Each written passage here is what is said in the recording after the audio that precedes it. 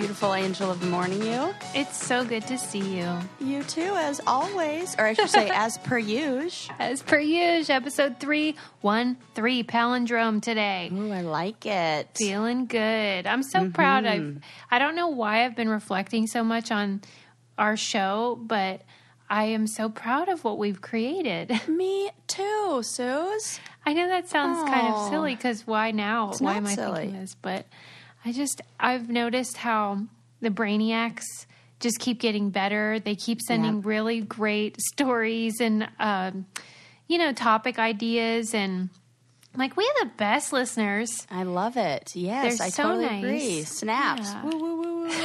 What is that from? Snaps. uh, uh, Legally Blonde.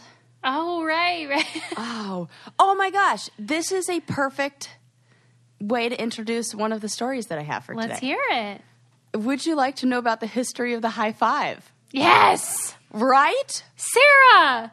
I'm. I knew you would be into it. I'm so excited. Okay, so I got we. I was inspired by this when Landon and I were watching some commercial for something, and it was like going through all these facts or something like that, and they were like history of the high five, create or like invented by or like the high five in, invented by, and like named this baseball player real quick, and I was like, what? what wait a sec, that's in color. That's wait a sec.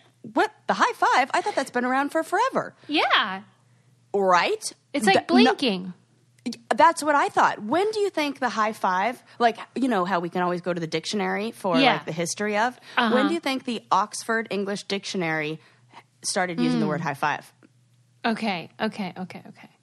It's got to be 1957. That's so precise, which is so funny. Uh, no, 1980. No way. Can you believe that? Right? Isn't No, that I cool? can't. Okay, so there's two stories that that are kind of like people don't know which is which one to um, yeah.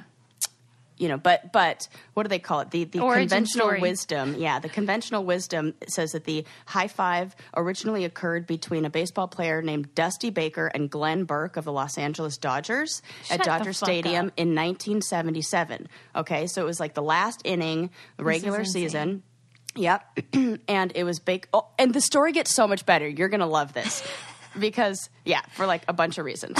So okay, so it's like the so a journalist i'm going to read you what a journalist said about the story they said it was a wild triumphant moment and a good omen as the dodgers headed to the playoffs burke waiting on deck thrust his hand enthusiastically over his head to greet his friend at the plate baker not knowing what to do smacked it his hand was up in the air he said and he was arching his back so i reached up and hit his hand it seemed like a good thing to do No. isn't that funny? They just like described a high five, which like kind of made me laugh. Yeah. But this is the really interesting part of the story. So, um, Burke, this baseball player, he was traded around. He was really like young. The guy was like 25 when he was playing. He was traded around and ended up on a team where he had uh, he was also he was gay and Okay. it, like he obviously couldn't be out about it. He was also a black man. So he's black man he's gay and he ended up in a relationship with the son of the either the manager or the coach or the owner of the baseball team. Oh, Lord.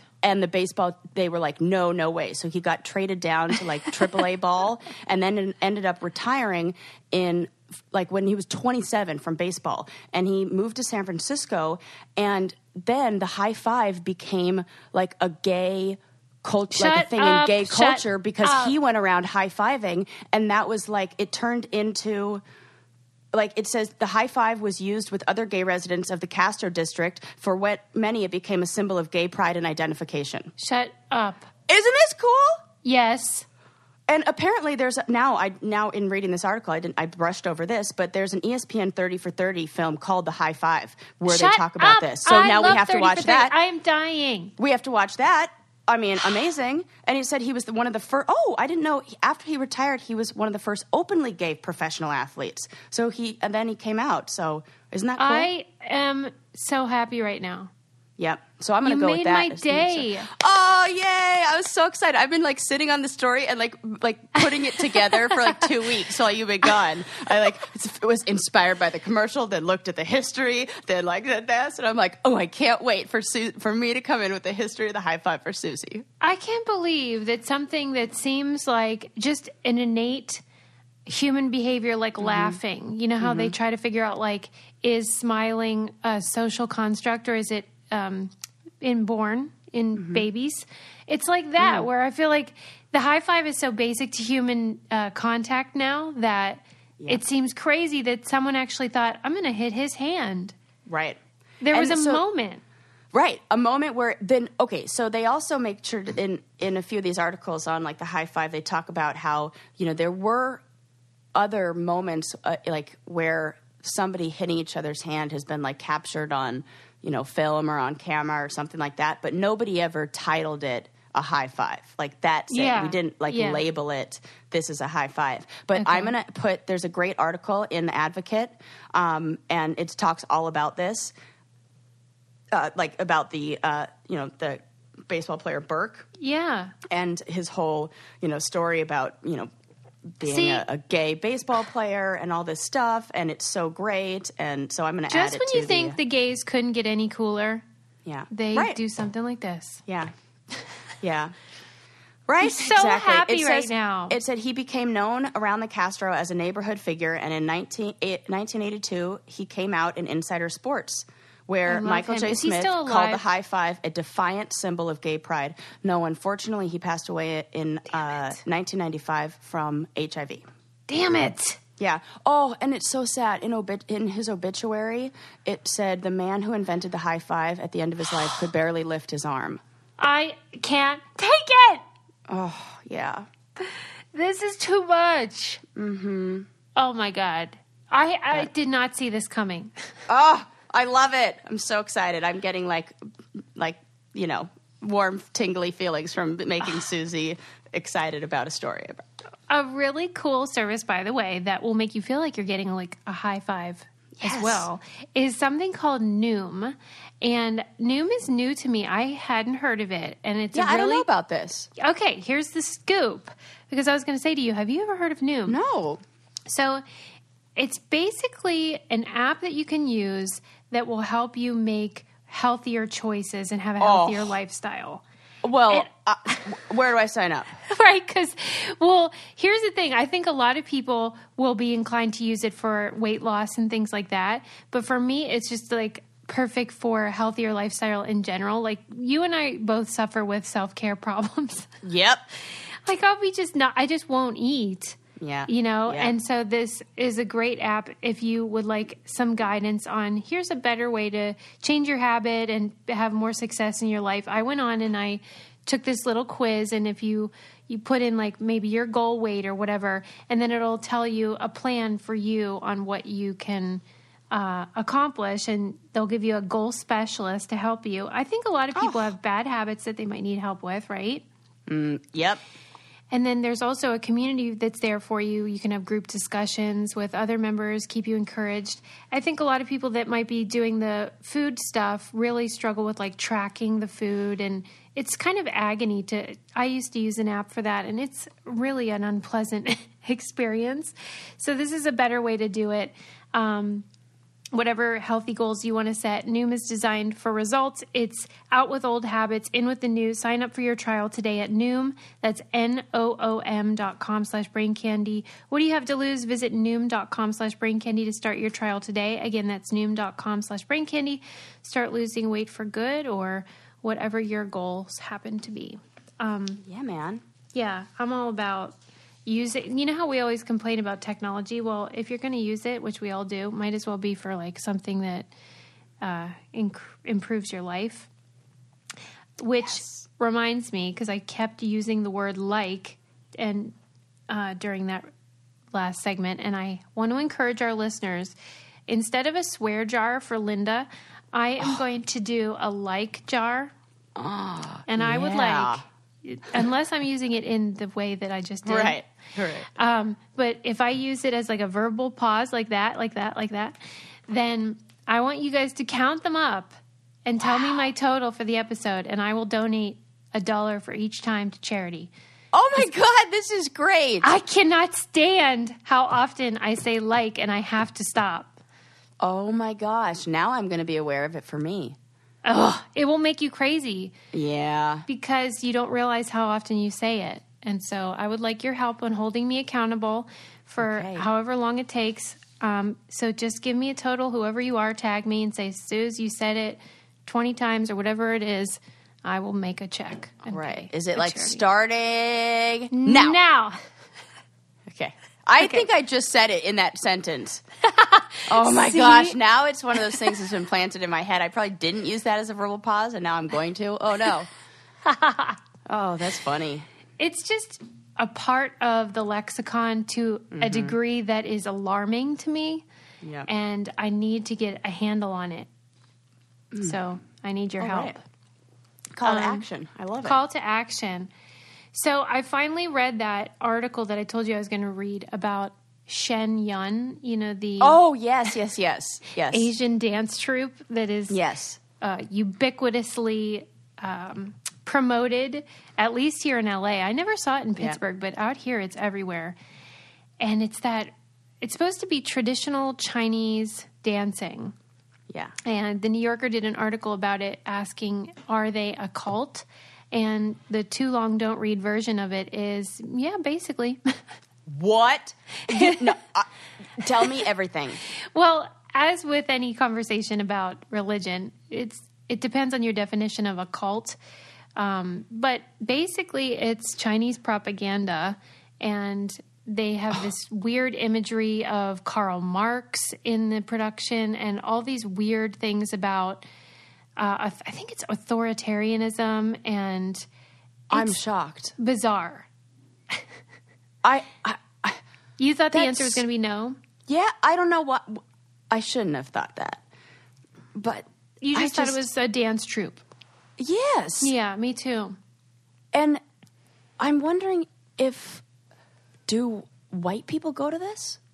Well, the reporter that wrote the story described the audience, and it was a lot of Asian folks. Mm-hmm. But of course, you're going to have a variety. Um, I think, yeah, I think a lot of people just really like dance, so they might be inclined to go, and they probably like that cultural experience that they might think of for the Asian culture. But I don't know. I've never been drawn to it. I never thought, oh, yeah, I want to go to that. So what elements of a cult does it embody or does So, evidently, they are funded by a religious organization whose name is not Shen Yun, it's uh, maybe something else. And they're trying to promote their message of religiosity and, I guess, political authoritarianism under the guise of, hey, this is traditional dance, you should like it.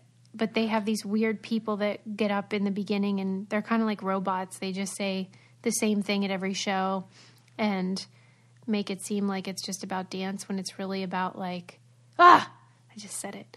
Um, it's really about I don't know imperialism or something, and the Wow. religion is tied to political, cultural, blah blah blah. Is it all subliminal or do, can you watch and, and absolutely tell that this is what's happening? You can tell, but I think because their tradition is so unusual that a lot of people don't even know that that's what they're promoting. So Man. it's explicit, but when you don't know the context, it just sort of feels weird, and you think, oh, maybe this is because I'm not in this culture, so I don't know. Hmm. I can understand that. And I wonder so is there is it anything where there's some they're asking for a donation, they're asking for some like oh money or is it just more like propaganda of ideas? I think it's like, propaganda I of ideas with the maybe ultimate aim of recruiting new members to the. Recruiting new new religion. members like to the religion. Yeah. Okay. Oh, okay. Weird, right? It is. I mean, It's like I just want my my. It, it, now I'm saying it. Uh, what's the end game? that's the- what I was wondering. I think it's kind of like Scientology, where I think it's clear that the end game is just more money. Okay, so it is fun. Yeah, it always That's goes what down I- to fine. what I right, assume. money. Weird. It's just strange that I wouldn't have heard of it by now, because usually all Right. the cults, you know, I'm pretty on top of. Yeah, that's what I'm saying. But I'll have to look into it some more. But it's all very weird. Yeah, I wanted to give you a follow up on that. Yeah. Also, you know how we have uh, tips that we give. Yes. I, uh, maybe people are sick of it, but I I'm wanted not. to encourage. I wanted to encourage people to follow on Instagram an account called Lingerie Addict. Oh, you incur. I, you know what's so funny? I was going to say this like two or three episodes ago because you inspired me to follow her, and I'm so glad I do. And I think it's really important Yes. that we recognize, you know, people of color in different, wait Yeah. in advert. Just tell the people what it is first. Yeah, the lingerie addict is a woman who, in the Instagram version, she models different beautiful lingerie pieces, and um, and talks about the history of lingerie as well as you know ideas for how to wear it and what's beautiful and different brands. But also, she has this message about body positivity, also sex positivity, and also encouraging uh, women of color and promoting their Yes. projects. And that's something I really think is important. But the reason I followed her is because her images are so beautiful and she's so beautiful. I was like, I want to look at her more. And Did so you see her book? her. Yes, It's gorgeous. it's gorgeous. and they're all like hand drawn illustrations of the lingerie and then like the stories about it. It's beautiful. so beautiful. I should have I gotten just, you that as a gift. I was just Maybe thinking I will. need to get you that as a gift. right? Because it's like, ugh, it's one of those things that you could display in your house, but also support um, something that's really cool and also pretty to look at. I think from her, you know how they have like in the discover section like things based on who you follow and everything. And I think from her follow and some other ones I follow, I was looking at uh, an article or something on Instagram that said like if you like want representation in you know Yes. or like diversity in advertising and everything then make sure you are liking pictures of people that don't look like you mm-hmm. to make sure that that gets you know recognition as well and it's so important to do that She even said tried that in a post recently. She said, you know, white women in particular should, you know, be liking and commenting Yes. on and following women of color if you want to be sort of they might say is intersectional or just Yeah. putting walking the walk. So Yeah. do that. Follow her. It's, you won't be sorry. It's beautiful, beautiful pieces. Yep, yep, yep, yep, yep. Um, love it I have to tell you about this article that I read about. I, in essence, it was about millennials and how they have this reputation as being, you know, what would you say? millennials being millennials, which Sarah's allowed to say because she is one, so she can be all snotty about it. yep I will say though, first of all, before I tell you about that, that a good thing that you'll want if you are following the lingerie addict or not is a good bra. oh and yes we know where to find one. Third Love. Mm-hmm. These bras are designed to fit you, whatever your size, whatever your body looks like. Um, and most they have more br- sizes than most other brands, over 70 sizes, including their signature half cup sizes. I don't know why this isn't more prevalent. And they have a perfect fit for everyone. You just go on their Fit Finder quiz and uh, put in some info about your body, and they'll tell you what size you are. And that way, you don't have to go in for those awkward in store fittings. No, thank you. Um, and they have a 100% fit guarantee. So you have 60 days. You can wear your bra, wash it, put it to the test. If you don't love it, return it and they'll uh, wash it and donate it to a woman in need. It's going to be the most comfortable bra you ever own. I will not wear any other bra. I'm I'm not into bras, so when I have to wear one, I better be comfy. Um, and they also have a new breathable cotton bra that you guys will love. Third Love knows there's a perfect bra for everyone, so right now they're offering our listeners 15% off your first order. Go to thirdlove.com slash brain now to find your perfect fitting bra and get 15% off your first purchase. That's thirdlove.com slash brain for 15% off today. So the article about the millennials was mm-hmm. talking about somebody who went to college and actually i suppose it really wasn't about millennials as much as it is about their parents and this trend of what you might call snowplow parenting. Have you heard this term? Oh yeah. Or the, yep yep yep. So instead of being helicopters they're snowplowing all the obstacles out of their kids way which became more talked about since this college cheating scandal. Yep. And they're talking about these parents who made your life so easy or make your life so easy that you don't know how to deal with obstacles when you're an adult. And so- Absolutely, and it's awful. yeah. Okay. So you noticed this problem. Yes. And um, one of the people that they talk about in the article is someone who went off to college who then went to the dormitory cafeteria and discovered that all the meals were covered in sauce and they had been shielded from sauce their whole life because they don't like sauce and didn't know how to cope with the fact that the cafeteria meals had sauce on them and had to drop Oh. out of school. Oh, I'm so. Oh, God. This is, you know, I dated a guy once who had a mother like this, Okay. and you know him, Susie. You also met him. And Oh my God. he his mom was like a short order cook for him. It was Right. like he was an only child and if he didn't like something, she as an adult, she would make a meal and and he would say, mm, "I don't really want that," and she would like make him something else. I'm like, "This is insane," and I just knew that it had started very young.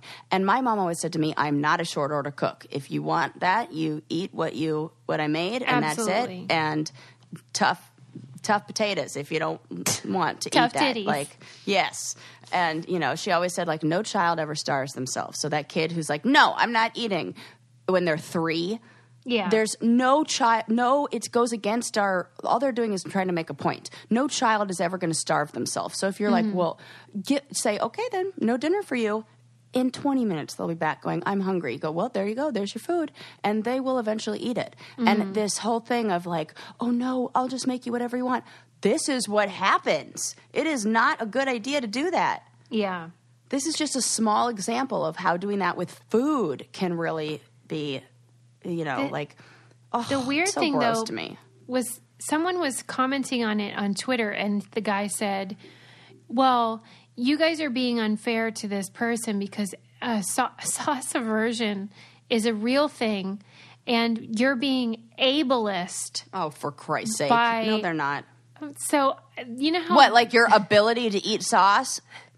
Then I don't know. That's D- Is there a thing where No. people? The only thing I could think is if you are somewhere on the spectrum or you have OCD, and Yeah. but in that case, then you learn to cater to that, and the fact that this then then there's a failure of the parent because say this child does is like that and does not the the right thing to do as a parent would be to teach them how to be self sufficient and like find for themselves meals that don't. I mean, what what the heck? There are I- options. Cereal. I mean, what? I just I- come on now. I think you're right, though, that let's say you actually have OCD or something that does prohibit you from enjoying the texture of certain foods in Yeah. a way that is typical. Yes. Um, th- that your parent would or doctor would most likely prepare you for Yes. here's how. So I can't imagine that that's what this is. no, it's not. It's just a kid being. Ugh. You, know, those and folks that order pizza and they get the sauce not on it because some kids hate pizza sauce. Mm-hmm. Maybe it's that, but then it just carries on their whole life, type of thing. yeah, but uh, I mean, it's just everybody catering to the needs of the one versus the one adapting to the need. Like, I don't know. I just think it's not good. I just don't think you should drop out of school because of sauce. No, I'm trying to think of what you know. So, so obviously, there's more at play here. You know, Yeah. like you have to look at, you know, um, what is it called? It's called. There's a name for it, like the transition into college. It's like really, it's like a phase of life problem, but there's there is something that happens when you, these children launch, and if they if they if the parent and the child don't like uh, if the relationship doesn't evolve then there can be so much anxiety for the child as they like leave and Yeah. transition that that's really it. It's like the and you look at a parent like this and it's like the parent's anxiety matched with the child's inability to like feel confident in their own decisions and rely on the parent. And then you know it just makes for like ugh. Well, you and I were talking about privately how the cheating scandal made me realize that that by doing that, by being a snowplow parent, mm-hmm. it's you're doing the same thing. Like the rich parents and the poor parents end up doing a similar thing. Remember how we were saying like being spoiled is almost like your parents Oh. don't believe in you. I'm I'm missaying what we had said Right. Uh, because it wasn't about poor parents. It was about like, oh, being spoiled and being neglected or something. Yes. is Yes. basically the same. Where on both end, it's like your parents don't believe in you, mm-hmm. and that you can't do it on your own. I wish I could remember. The, it's to, it's it's that you did a good job of rephrase like paraphrasing like that. but, but in it- essence, by spoiling your kid, you're actually saying you're not. You can't do it on your own. You Yes. can't get into the college on your own or whatever. the same way if you were one of those critical parents who was like either you know neglected their child or was verbally abusive like you can't do it you're, you're Yes, sending, you're not enough. sending the same mess you're not enough you're telling Thank the child you're- you. yes it's the neglect like you're not enough for my energy versus you're not enough to even be good enough on your own I do need to explore though what causes it because I fight against it, but I have the same impulse with my son where I am so paranoid about him getting hurt physically or emotionally that I really have to fight against my mm-hmm. instinct to protect him from all of that.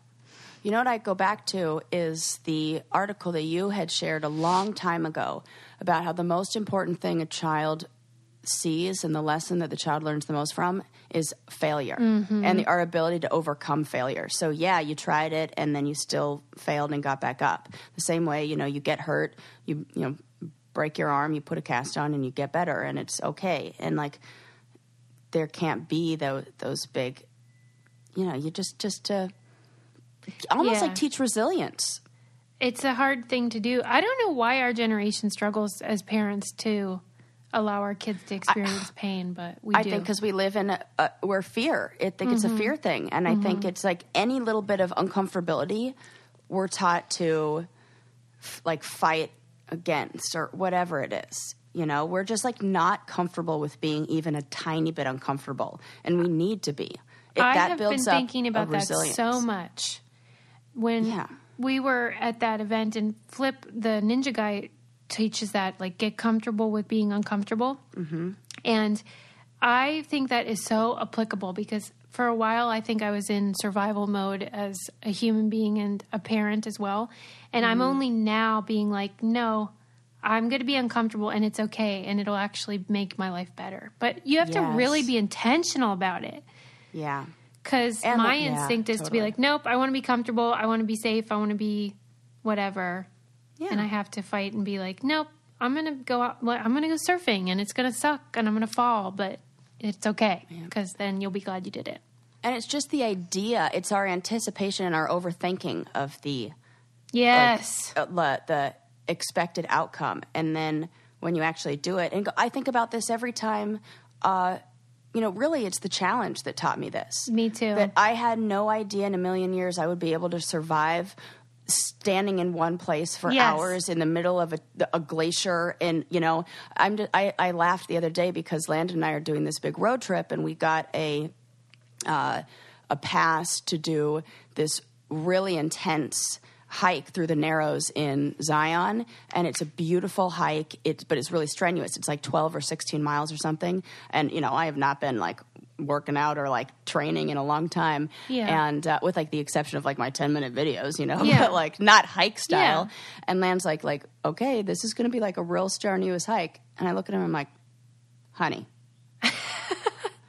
I think Have I'm we good. met? yeah, I'm like, I think even without any, like, anything is going to be easier. And I was like, do you think it'll be more difficult than climbing one of the toughest climbs in Norway after jumping out of a helicopter, freezing, free, like paddling 10 Yeah. miles through a glacier water and then having to spend all night sleeping on a wooden pallet? Do you think it'll be a little easier than that? Oh, I think I'll be good. You Yeah. know? And he's like, I'm just, he was being so sweet. He's like, I'm just checking. I'm just making sure. Like, Yeah. you know, but in my head, I'm just like, I'm a survivor, and that's what You I'm saying. are. Like you're comfortable with being, un- and there is no amount of yeah. And if I am uncomfortable, I'm going to push through it, and then at the end, I'm gonna be like, damn, look at how fun that was. Yeah. And I was telling Adam, I said, you know, when I would be on a challenge, I would be uncomfortable for eight straight weeks or however long it was. Mm-hmm. And then what I'm trying to do now is take a touch of that and to put it in my real life because Yes. you don't want to be uncomfortable all the time. Like a challenge, that is very Mm-hmm. difficult. And I'm in that state of survival the entire time. But if you can just do that for a minute in your real life or a day or whatever, then that is the sweet spot for me. It's the same thing as all those like cliche sayings that people have of like do every day do something that scares you. It's true, Or, though, Yeah. It's so true. It's you're basically building up resilience. Yeah. You know, and then you go, "Oh, that wasn't that bad. Yes. That wasn't that scary." Whatever it is, maybe for you it's climbing a mountain, but maybe for other people it's saying hello to somebody you don't know. Totally. And everybody, it's different. And maybe you're great at saying hello to somebody you don't know, but you're not good at taking the first leap and being physically uncomfortable. Like people Mm-hmm. are uncomfortable and comfortable in different places, maybe emotionally there, but not physically, vice versa. So, yeah, there's that's that's great, man. it's a good lesson. It sure is. We should remember that. And One one place that I'm always comfortable though is in my bed, mm. and that's because I have the best sheets ever. Brooklinen, hell yeah, hell yeah! you spend a third of your life in sheets, and so you need a bedding upgrade. This is what I'm saying. If you want to feel like you're in a five star hotel, but you don't want to like you know break the bank, then you can try Brooklinen because these sheets are so comfy and soft. You can get all different patterns, mix and match, and you're going to not want to get out of your bed. That's what I'm saying. It's the fastest Yes. growing bedding brand in the world. Um, and they also have other things. They have pillows, uh, towels, uh, comforters, and I saw online they have a shower curtain now, which I did not Oh, know, and I want to check out. Um, Brooklinen sheets are the best, most comfortable sheets I've ever slept on. Now it's your turn for the upgrade. Brooklinen.com is giving an exclusive offer just for our listeners.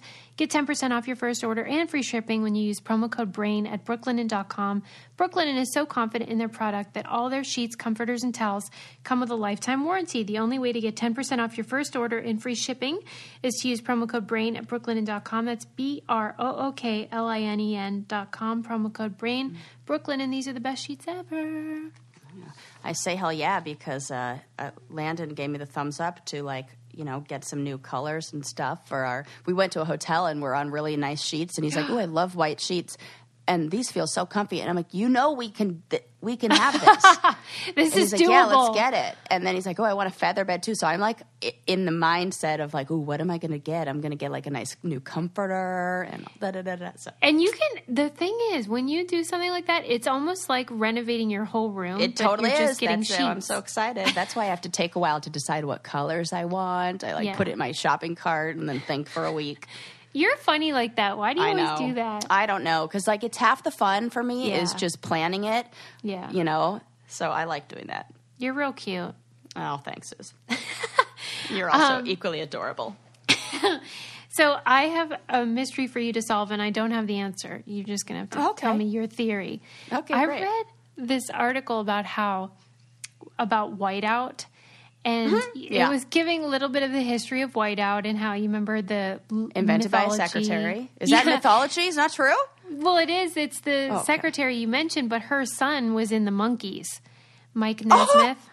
That's funny. And I always remember people saying that about him, and I thought that's probably one of those old, wh- what do they call that? Um, urban legends. Mm-hmm. But it's actually true, and that she became a millionaire because she came up with this idea. It's awesome.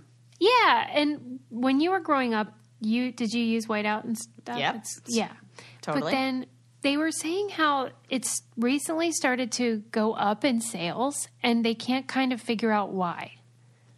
Wait, Like who's using really? whiteout? Yeah. Okay, okay. Mystery. Why is whiteout being now? Is it specifically because here's the interesting thing. Now, are we talking about whiteout in its classic, like in the classic sense of like the little bottle with the brush? Yes. Yes. Okay, that's so freaking weird that those are going up. It's got to be used for something else because that's. Yes. I've gone away from that. I use the little roller, Yeah, yeah, the pieces of those paper. things that mm-hmm. that you know. This is the liquid paper version with the brush. Okay, there's definitely something else that this is being used Yeah, for. Yeah, what?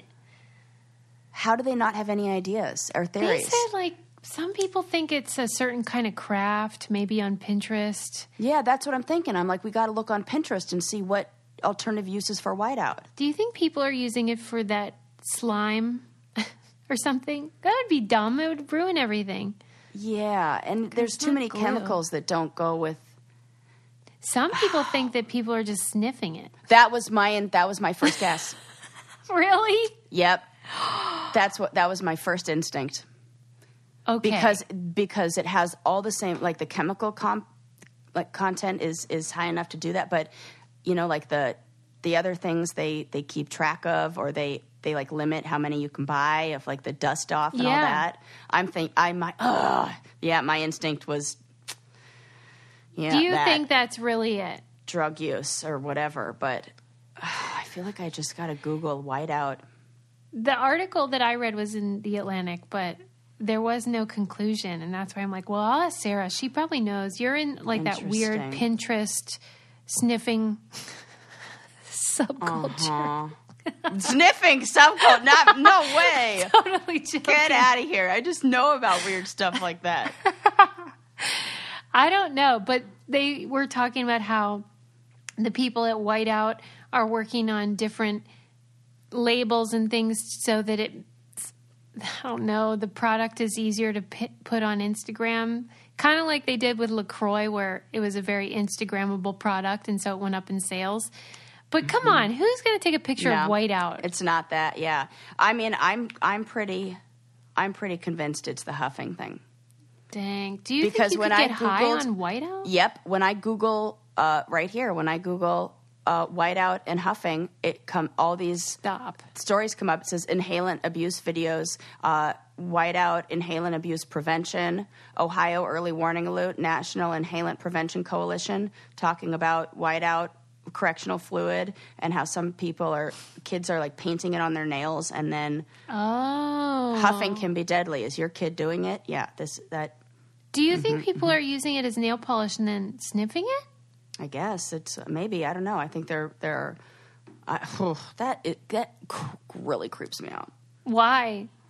the idea just that huff is just one of the grossest things to me i think when i was probably like 14 or 15 i saw the movie gummo have you heard of that movie Never. it's by the same director producer writer whoever it was that did the movie kids have you heard of that movie Yeah, hmm okay like really uh, Dark. cult coming of age movie that's super dark and you know but really realistic Yeah, insightful and, and, yeah. yes and it's the same kind of story about a small town in the middle of who knows where where people have like m- generations of huffing and like drug use and you all the people in the movie are actual children who are you know have deformities or neurological you know like uh they took like real people and used them as actors for this and for some of the scenes. And i just remember those scenes being so difficult to look at. And i just it really grossed me out. And like this movie was so intense. I have this serious like reaction to that. I oh it like really grosses me out. It was too raw. yeah. Like I can't watch intervention. I can't it's like too I get too scared and I think, wow, what kind of place does a person have to be in to go to that kind of lengths to change their like you have to be in a lot of pain to put your body through that much pain to feel either Yeah. numb or okay or bet like how much pain do you have to be experiencing for that to make you feel better? It's like, Mm-hmm. For that to be scary improvement. Yes, yes, yes. And it The- like breaks my heart. Some of the worst episodes of intervention were with people that huff for those Yes. air cans. Yeah. Oh, And and, I they just think Lose it, it. just makes me so yes, and it's so scary. And their high on that stuff is only a couple minutes. Mm-hmm. And then they'll just keep sucking on that air. And they get, it's almost like they're possessed. I it, oh, it may, I don't know. It makes me feel so weird. What the heck inside does it do to their brain? Uh, the worst stuff kills Yeah. brain cells. Oh, It really does. It kills brain cells. Yes. Yeah, absolutely. And then it's irreversible. Yes. Well, don't do that, kids. A lot of it. Do not. Oh my God, we should not be. It really scares me. Wow, you don't usually react like that. I know. Uh, this one is is that is my. Ugh. Yeah. Really? Because that movie, I know it. It just I watched it during an age where I was like, yeah. you know, and oh my god, I was like that kid who was. I would have nightmares that you know my my like the I had this re- reoccurring dream that like you know I'm such a rule follower that when Dare the Dare program came, I became like the the the the basically like that what's her name Flick from Election. I became like Tracy. her, Tracy Flick from Election. I became her for like Dare program. I was like, we are going to fight the drug. No drugs, no smoking. Cigarettes are killing you. And I would have this reoccurring nightmare where like everybody I knew and loved would one by one look at me and say, I'm sorry, and pick up a cigarette and start smoking. I'd be like, No. no. And it was like so sad. And so I, I was like so anti like all of that. I'm like, I don't know. So and then all you that were stuff. Picking up doobies in no time. Yeah, well, I oh no, it was a long time. I was over twenty one, but the first time I smoked weed Did you feel super guilty though? in England, no, I didn't for some reason. Really? After all Yeah. your spouting about dare to keep kids off drugs? Yeah, I don't know why, because I I don't know. I felt like oh, I'm in England, it's okay or something. Wow, you are a tough nut to crack. Who knows? But yeah, oh my god, that first night I smoked weed, I was in I was in England, and it, I we were with some friends on a exchange program out there and living out there in Oxford and Living your uh, best life. living my best life. And somebody offered me some and then I didn't inhale. And they're like no no you have to like breathe in. And then I did. And then like coughed everywhere. And then I got kicked out of a McDonald's for laughing too much. Oh Lord, of course you did. because it was Easter time and they had a Cadbury McFlurry. And for some reason an egg inside like the the they made it look like an egg. I could not stop laughing at like I'm like it's like an egg in the McFlurry. You're the And worst. I was, they're like, "Ma'am, you have to leave," but they probably miss uh, at the time. You have been kicked out of so many establishments. really? Yeah, you weren't you kicked out of a museum Oh, yep, for taking a picture. and like maybe We a did go over library. this. Yep, yep. Oh, I banned from the library for not returning my book. See, I don't know. I haven't gone back. For being a rule follower, Sarah. Right? T- true. True. I should just abandon that label.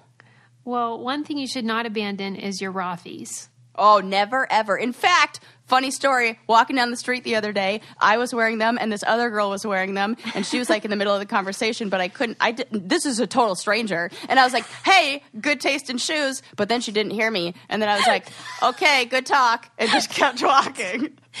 but I really wanted to connect on our Rothy shoes because we were pa- wearing the exact same red ones. And when I see them in public, it feels like I've like met a member of like I don't know a tribe that I didn't know I belonged to. Yes, I got real excited. Are the most loved, gotta have them shoes.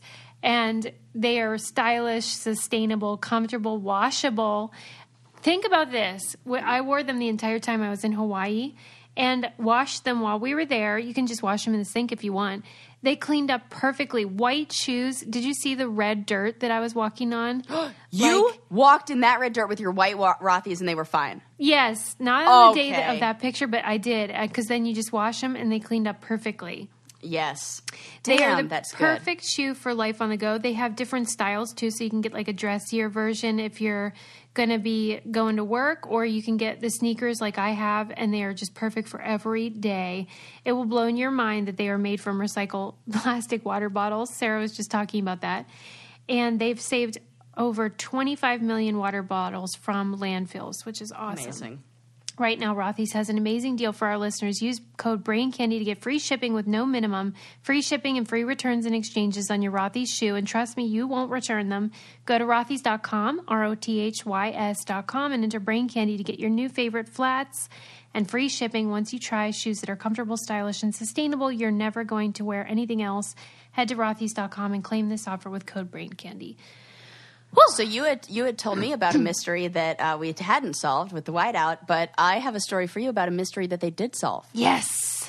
So this one is so random. I had like I went in- I found a bunch of really interesting articles on BBC the other week and just like one of those this article led to this article and this Yeah. article and I was looking at the, all the recycling stuff and like those you know what they're doing in the ocean which led me to an article on some mysterious things that have been washing up on the shores of France for the last 30 plus years.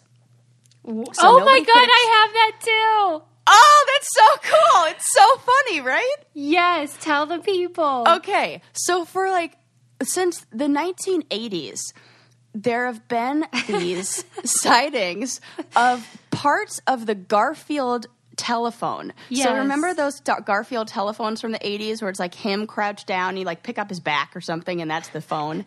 and pieces of those have been showing up all along the shore and people are like, "What the heck?" And Right. they've even become a symbol of like the need like why we need to recycle and of like environmental Right. um i don't know like yes activism this symbol and people could not figure out what the heck it was from and then finally i don't know whether they discovered where it was or found the location Yeah. somebody said they knew what They could have happened it. a shipping container had gone down during a storm in 1980 and they were all it was full of garfield phones Yes. That's so funny to me That is the best. And the pictures of the phones in the sand. so funny Suze, I have them right here to show you. They're so great because They it kind are. of would be creepy if you were just on the beach and all these Garfields were coming like to the weirdest thing. right. I love it. And I love that then they found the shipping container. It was in a sea cave. And they're like, oh, here's where they're coming from. And there were still like c- parts of the phone, like more phones in there. yeah. Like, had they not this discovered this mystery, it would have just been washing up for. I just think about how many people didn't get their Garfield phone and it was just abandoned in the shipping container. I guess they weren't like ordering it online like then, but it just right. didn't well, make I- it. I guess so. It just didn't make it to a particular Yeah. store or something. What if there was like a wait list at the store and these people are like, my Garfield phone? And they- they're like, they said it would be here in two weeks. Did you ever have a novelty phone? Oh, you know what? I wasn't allowed to have a phone. Oh, why? My mom was really big on that. Like, I had a friend who had a phone in her bedroom when she was really young, and almost as like a a protest. You know, my mom was like, "This fam- this par- this child's parent gives their kids everything they want, and they have you know." The phone in their room at five. I can't even believe that. And what else? You know, like uh, so. My mom was like, "That no, we're not having phones in the room." And uh, Oh, I didn't. It was always the family phone. I'm trying to think. Did I ever have a novelty phone. Well, I can remember the phone my friend had, which was a novelty phone. I loved it. Uh, I did not have a novelty phone. I only had the family phone. Yep. Oh, that and is the long ass cord. I know. Did you? yeah. Oh my God! Tell me what you had. I had one of those ones that was clear and you could see the parts Oh. inside. Nope, I take it back. I had that one. yeah, of now that you course, we had it, the same one. I had that. That's it. And you know what? In my mind, it didn't even register as novelty because it just was like sciency. Like Oh it's just a phone where you could see the parts. I was thinking like lip shaped, or I was thinking of a shape. I also did eventually have, you know, those ones that are vertical and they sit there and then you hold the one thing up to your ear and then the mouthpiece is on the base, like an old timey. Oh my Nin- god! you how know, that funny! kind? Yeah, like red, like throwback, Yeah. old schooly. Yes, And it was super cute and I loved it, but it was really un- not convenient. yeah. That seems like one of those where, mm, That would have been That's good if I had though. Instagram. Yeah. yeah, that's Back real then. cute. Suze. But Huh. then Why eventually. did I block that plastic phone? Like I'm trying to Yeah, think of which room I had that in, appreciated and then and then because like I know I, I can remember that phone, so definitely at one point in time had a phone in my room. But I'm wondering if I was like an adult when I bought that. yeah, you must have been in high school or something. Yeah, because I you know yeah definitely Mm-hmm. wasn't when I was a kid because that was foreboding. Bowden. Yeah, when those they had cords, like you said, excuse me, and they you would stretch the cord because you'd want privacy, Ugh, and so you try that. to get the cord to reach wherever you were going to sit, and the cord would end up all mangled, Oh, humongous. I hated that. and then when it would do that twist thing, and then there would be before I would be able to answer the call, I would have to hold it and then just watch it untwist. And I am so like a little OCD that I have to. I, ha- I just did a lot of like. I spent a lot of time organizing that cord when I was on phone calls. and- organizing. yeah, I had this little this friend, this guy who was oh, he was so sweet. Uh, he he was like his family had just moved to the United States from Vietnam and he was really trying hard to make friends and he was so sweet and he would call me every day after school and we would talk on the phone. And my mom would be like up. Finn's on the phone. Here you go. And I would talk to him and we would just have our afternoon talks and you know and I just remember sitting there and untangling the cord and because he just wanted to chat you know? Sure. it was like you know? And I said, That's what you'd always do. There would always be a debriefing after the school Yeah. day. then you'd talk to somebody. But it's weird how kids don't do that now. They text or Ugh, yeah. whatever only. I mean, I don't blame them. I hate phone calls. But it's just. We the only hate that's- now because Yeah. we don't have to do it. Is that why you 'em. think? You didn't hate them when you were before. No, I didn't hate them when I was a You kid. loved them. Yeah, I loved them. Yeah. I, Hmm, I, I you're one of the about. only people for whom I will answer the phone. Oh, you too, sis. I think there's about maybe seven people that Aw. they'll call and I'll just pick up. Yes, I made. How many people would you say you'll answer? Everybody. I've seen you answer unknown even. Uh, You're real brave about that. well, no, I know. I answer the unknown one because my I know that my aunt always calls from an unknown number. For some reason, her home phone is like blocked. So usually, when it's unknown, it's definitely my aunt. When it's when it's like a, a like random number, I won't answer. Have you seen the new thing that some phone companies are doing where they'll put at the top uh, likely scam or Yeah, I downloaded a thing on my phone to do that from Verizon. oh, what did you download? There's like some Verizon app that you can get for I it. have to do that. Yeah, and it at the top it'll be a red bar that says spam. And do you get calls that say that? Yeah, Get and well, na- and then it starts to out. filter them out. See, You know, John Oliver just did a whole thing on spam calls. You should watch Really? that.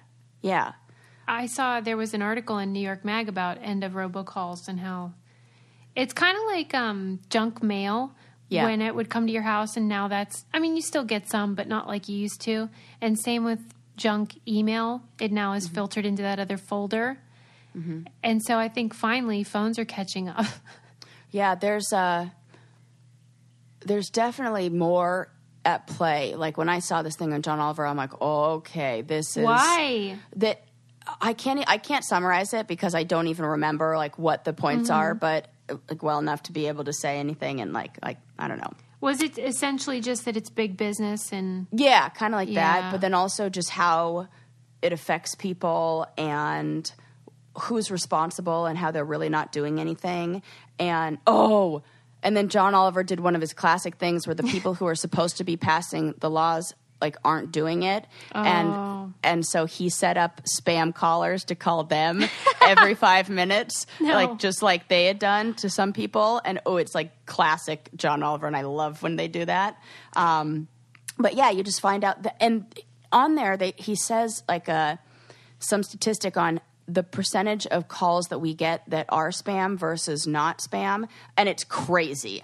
It's an I didn't even expect it. I want to say it's like ninety percent or something insane like Wow. that of what. Well, and it's like, why is this a thing? Like nobody, everybody's terrified to answer their phone now. Like maybe Yeah. that's why you don't like the phone calls as much because our first instinct is like, oh, is it one of those fake ones? And I saw this comedy bit where somebody was talking about how if your phone rings, you like quickly try to get your phone out and look at it, and no matter who it says, we push decline.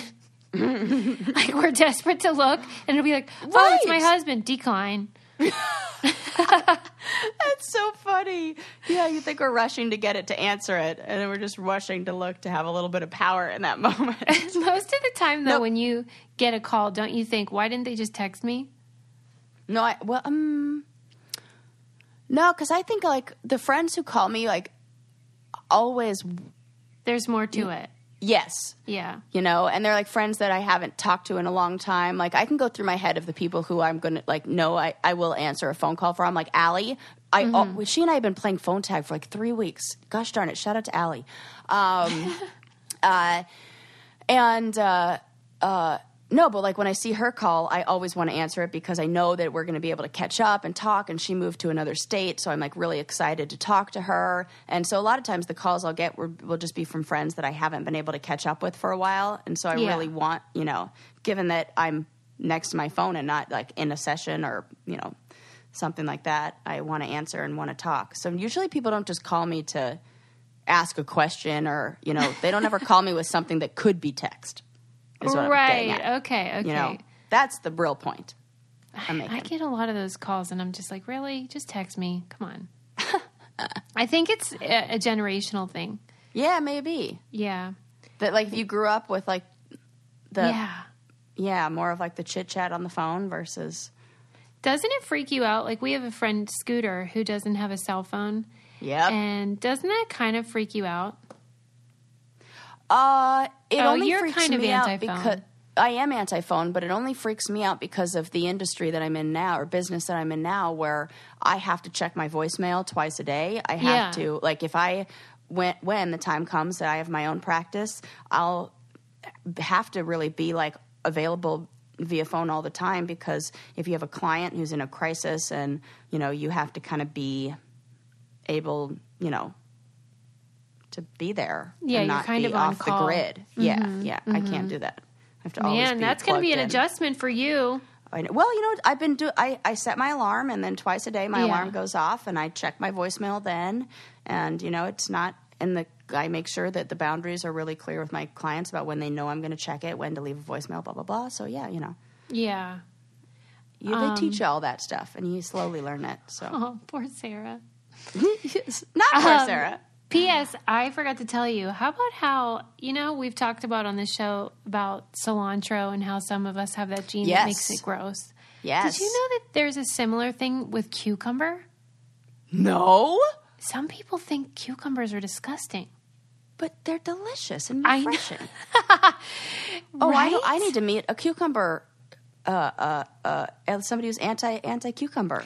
Apparently, it's the same thing where there's a recessive gene that for them makes cucumbers essentially inedible. And often, though, those same people are fine with pickles, which seems counterintuitive. But that's the same way that you're fine with it if it's crushed up. If it's in salsa, yeah. It's because it's been like that. Oh, cool. Something else for me to research. I just can't imagine hating cucumbers. Me neither. But I couldn't imagine hating cilantro. Right. So interesting. Really gross for them. So I solidarity. Also, follow up. Uh, I asked Landon about wasabi. what did he say? We did not have any in the house at the time, Okay. but uh, he told me that the basically a lot of the same things you said, like the stuff that we're eating is not the real wasabi, and that mm-hmm. wasabi grows at the rate of one inch a year. And he said it mm-hmm. looks kind of like if you were to marry, like a pineapple and a carrot got together and had a baby. So Yeah. kind of like what you said, that's what it looks mm-hmm. like. And that originally, what it's used for in Japan, like they have a lot of um, tradition, of course, and a lot of like ritual around how to prepare it, things like that. And to grate it, it's grated on shark skin. Like they take shark skin and they use shark skin to grate it. And I asked him, like, well, what, what what's like the the purpose? Like, what do they use it for? And he said the reason why it's eaten with sushi is because it's antibacterial. Oh, Yeah. Really? And he's like, "There you go, wealth of knowledge over here. I know Yes. everything about." I say, "I'm like, I knew you were going to know all about this." That's and really yeah, cool. It's antibacterial, so if there is ba- like the fish has that anything in it that it like works to, it makes Yeah. sense if you're eating raw fish. Because in the video, it did say that um, science shows that it does fight against cancer and helps general health. So I'm sure that you're right. Yeah. That that's Cool. how it became. Wonder why ginger got involved though. Oh, You know, good, the ginger- good question. Yeah, yeah, yeah. I know it's a I think that was just. cleanser, but- Oh yeah, that's what I was going to say. I think it's something Hmm. like that. Well, we've really made it. a lot of progress on our, Yes. you know, Ooh, wasabi fun episode. Just love it. investigation. I mean, we. How could it be bad when you started with the history of the high five? Uh, that is correct. You're making days over here. You know and um also when this airs i think will be the week of national high five day No. it's the third week of april oh my god. January, then yes. March, April. Yeah, it's going to be that time. So I like also timed it well. You're welcome. Wait, what is involved in this celebration though? Okay, so I think it's the University of Virginia is where this got started, where they set up a booth where they sold like lemonade and high fives and like raised money for charity. And so now it's like a thing where they like go around to I don't know. It's it's something for. It's almost like a high five a thon, and That it's is all really cute. uh huh. So it started there, and, and then it just became like a thing. Love that. Yeah. Well, happy so high celebrate. Five high five to you, today. High five to you. We'll be high fiving. Yes, we uh, to celebrate, and we'll. and if you're going to high you. five, if you're going to high five, make sure to look at the elbow. That's how you can guarantee contact. what? Why do people say that? Because it works. Do it. Test it. We'll test it and get a video for you and make sure you can see. We'll do it with and without some experiments. All right, everybody. We'll high five you if you leave us a review and uh, make it a good one. All right. Bye, guys. Bye.